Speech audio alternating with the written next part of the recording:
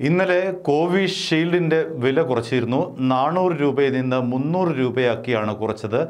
നൂറ് രൂപയാണ് ഇക്കാര്യത്തിൽ കുറവ് വരുത്തിയത്. ഇതിന് തൊട്ട് പിന്നാലെ ഇപ്പോൾ കോവാക്സിന്റെ വിലയിലും കുറവ് വന്നിരിക്കുകയാണ്. രാജ്യത്ത് ഭാരത് ബയോടെക്കിന്റെ ഉടമസ്ഥതയിൽ നിർമ്മിക്കുന്ന കോവാക്സിന്റെ വില ഇന്ന് കുറച്ചിരിക്കുന്നു. സംസ്ഥാനങ്ങൾക്ക് നൽകുന്ന നിരക്കിലാണ് കുറവ് വരുത്തിയിരിക്കുന്നത്. നേരത്തെ ഡോസ് ഒന്നിന് അറുന്നൂറ് രൂപയ്ക്ക് നൽകാൻ തീരുമാനിച്ച കോവാക്സിൻ. ഇനി മുതൽ സംസ്ഥാനങ്ങൾക്ക് നാനൂറ് രൂപയ്ക്കാണ് ലഭ്യമാകുക. അതായത് ഇരുന്നൂറ് രൂപയുടെ കുറവാണ് കോവാക്സിന് വരുത്തിയിട്ടുള്ളത്.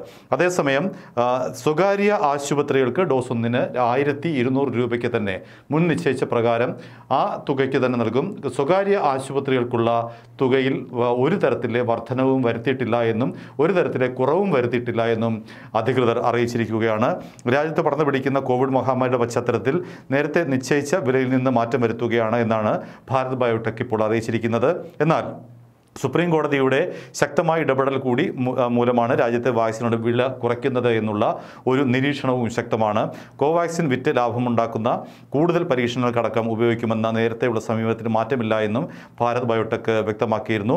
ഈ ലാഭത്തിൽ നിന്ന് കോവിഡ് വാക്സിനേഷന് വേണ്ടി കൂടുതൽ കോവിഡ് വാക്സിനേഷൻ മെച്ചപ്പെട്ട കോവിഡ് വാക്സിനേഷൻ നിർമ്മിക്കാൻ വേണ്ടിയിട്ടുള്ള പരീക്ഷണങ്ങൾ നടത്താൻ കമ്പനി ഈ ലാഭം ഉപയോഗിക്കുമെന്നും അധികൃതർ അറിയിച്ചിരിക്കുകയാണ്. ഏതായാലും ഇന്നലെ കോവിഷീൽഡിന്റെ വില കുറഞ്ഞത് തൊട്ട് പിന്നാലെയാണ് ഇന്നിപ്പോൾ കോവാക്സിന്റെ വില കുറഞ്ഞിരിക്കുന്നത്. സാധാരണക്കാർക്ക് ആശ്വാസകരമായ നടപടി എന്ന് വേണമെങ്കിൽ ഈ ഒരു കാര്യത്തെ വിശേഷിപ്പിക്കാം.